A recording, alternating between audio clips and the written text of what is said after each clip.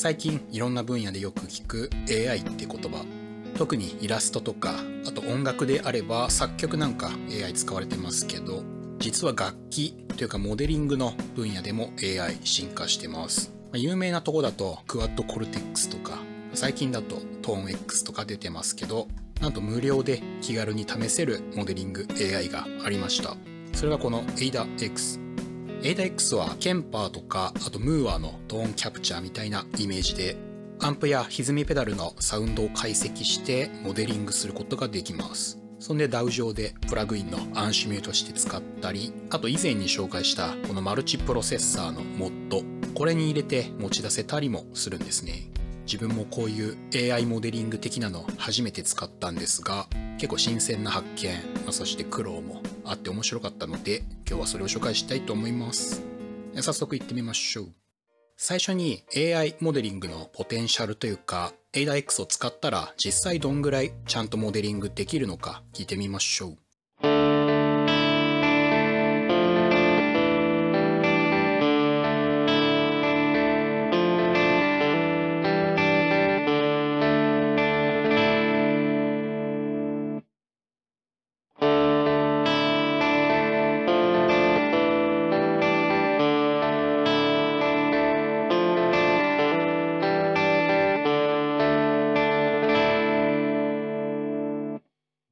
しょうか？かなりいい線いってるんじゃないでしょうか？若干柔らかさというか低域の感じが違いますがサチュレーションのニュアンスとか広域のパリッとした感じはかなり似てると思います。無料で触れるツールとは思えないですね。じゃあ実際どんな感じで AI モデリングするのかやってみましょう。まあ詳細な手順はね、なんか公式のチュートリアル的な動画を見たらわかるんで、ここではざっくり紹介します。モデリングはアンプを通してないギターの素の音と、それをリアンプした音、ビフォーとアフターですね。2つの音源を渡してあげると、生成して返してくれるイメージです。ビフォーのクリーンな音ですが、これ何でもいいってわけじゃなくて、基本的には所定のファイルを使うのが推奨みたいですね。最初自分で適当に弾いたやつで試したら全然うまくいかなくて数日間ドツボにはまりました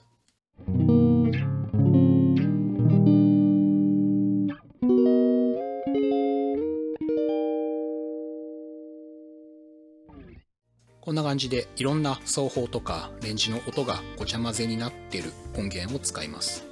でもう一つこれをアンプに通した音を録音しておきます。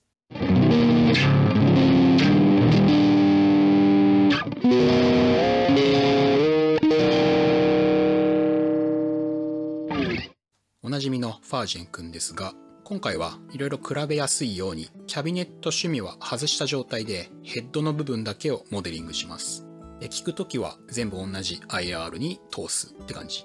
で用意した2つのファイルを ADAX にぶん投げて学習させます。これブラウザベースなんで変にアプリとかダウンロードいらないのは良いですね。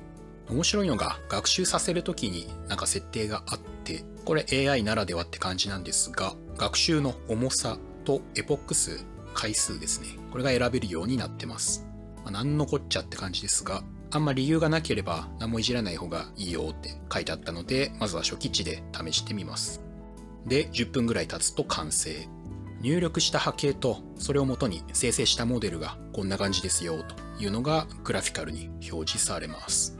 見た感じちゃんとできてそうですね。これなんかミスってると明らかにまっすぐな波形になって絶望したりします。実際にはまったミスだとなんか一向にうまくいかんと思ったら音源をモノラルでね書き出すべきところをひたすらステレオで投げてたなんてことがありました。皆さんも試す時はご注意ください。で出力したファイルをこれもフリーのプレイヤーで読み込めばアンプシミュレーターの出来上がりと。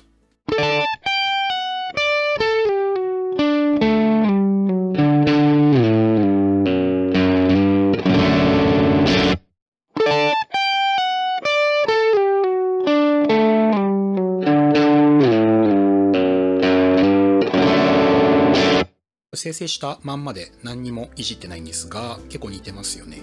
やっぱ若干低域が足りなくてミドルの主張が強いのでその辺を EQ で補正してあげるといい感じになります、まあ、これだけでも十分満足なんですがちょっと戻って先ほどあった学習の設定。まあ、せっかくならより高みを目指していろいろ試してみましょう。まあ、あんま細かくやってもあれなんで差が分かりやすいように全部最強にした全部盛りの設定と逆に一番ライトな設定の2つで比べてみます。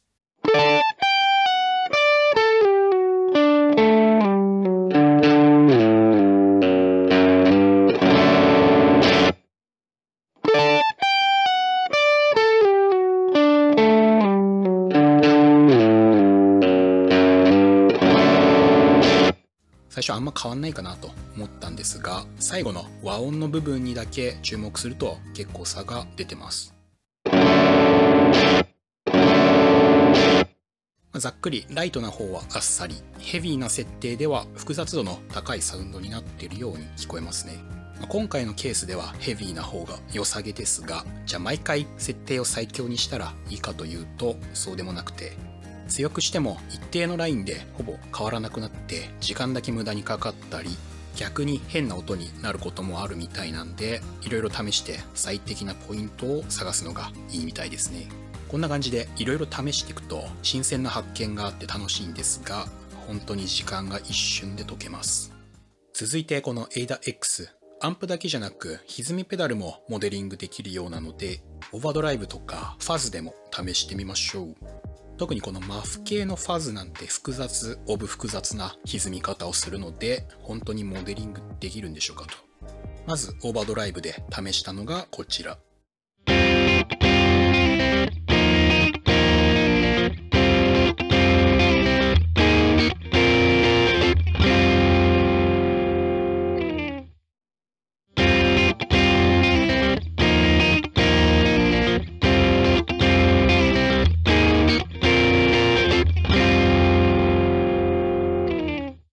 これはめっちゃ似てると思いますね。まあ、オーバードライブってアンプほど複雑な倍音じゃないというか、特に OS2 は割とスッキリしたサウンドなので、まあ、そういったサウンドの方が AI 君的にも解析しやすくて得意なのかもしれません。お次はマフ系のファズ。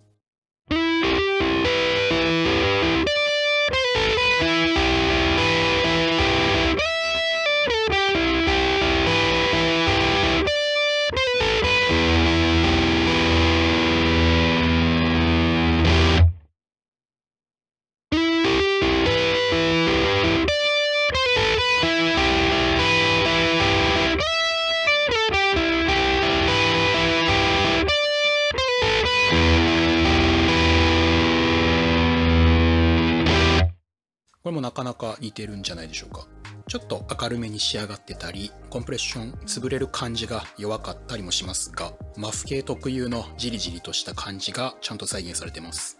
こういうファズとかの音って最新のマルチエフェクターでも正直あんま似てるのなくて、それらと比べるとかなり実用レベルだと思います。まあ、欲を言うと ADAX はアンプでもファズでもサグ感というかね強く弾いた時のぐじゅっと沈み込む感じがちょっと弱いので、まあ、そこがクリアできたらもっと良くなりそうだなと思いますね。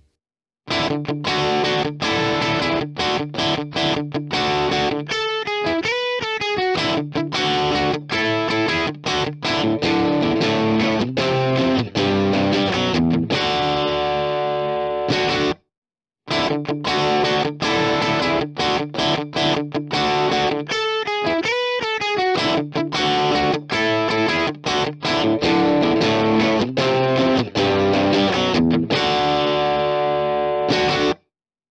れ強いアタックで弾くとちょっとポコッとミドルによる感じがあります。50W アンプだったはずが 30W になったって感じがします。最後に ADAX 個人的に熱いポイントとして生成したモデルを入れて歩ける機材があるというとこですね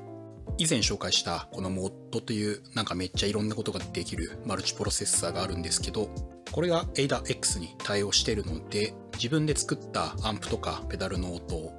もしくはどっかからダウンロードしてきた音を持ち出してマルチエフェクターアンプシミュレーターとして使えます。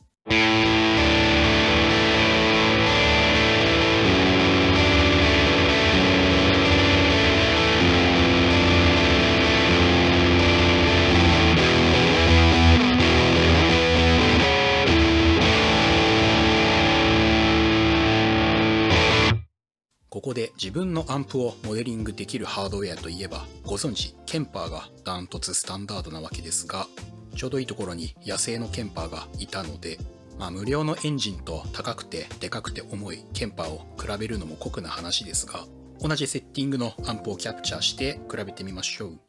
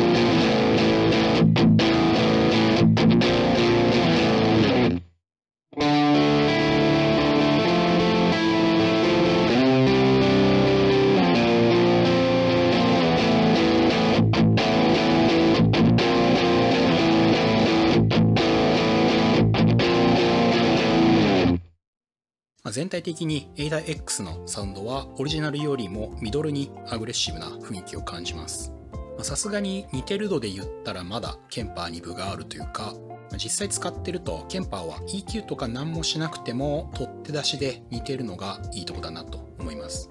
ADA-X は EQ で補正すると似るんですがやっぱ最初低音弱めで生まれてくるのが個人的に気になるところですね。ただもともと無料のエンジンだしモッドに入れて持ち出すのであればこの小ささでほぼケンパーみたいなことができるので